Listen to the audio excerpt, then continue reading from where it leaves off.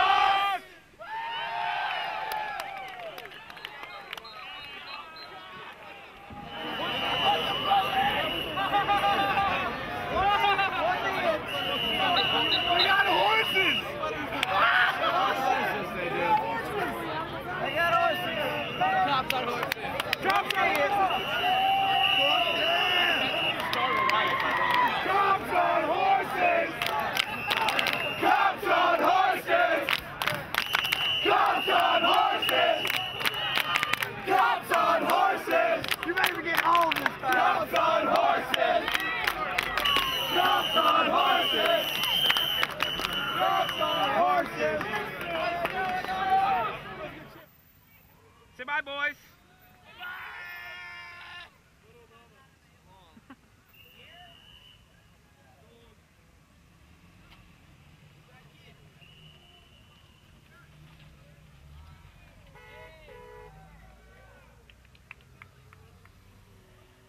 See you tomorrow night.